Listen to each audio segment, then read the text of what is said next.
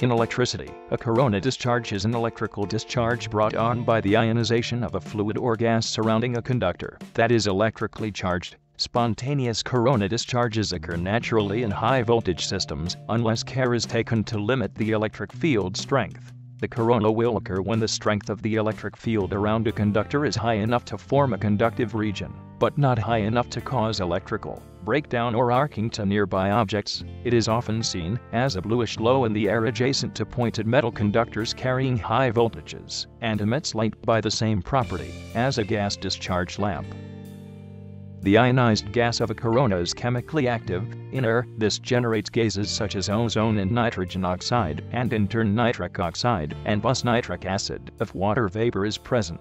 Ozone is intentionally created this way in an ozone generator. Otherwise, these highly corrosive substances are objectionable or hazardous and are undesirable where they waste power in electrical systems. Controlled corona discharges are used in a variety of filtration, printing, and other processes.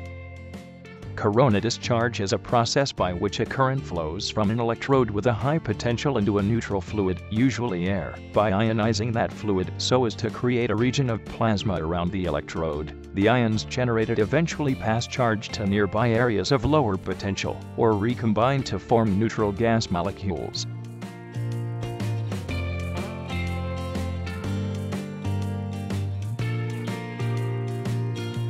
Thank you for watching.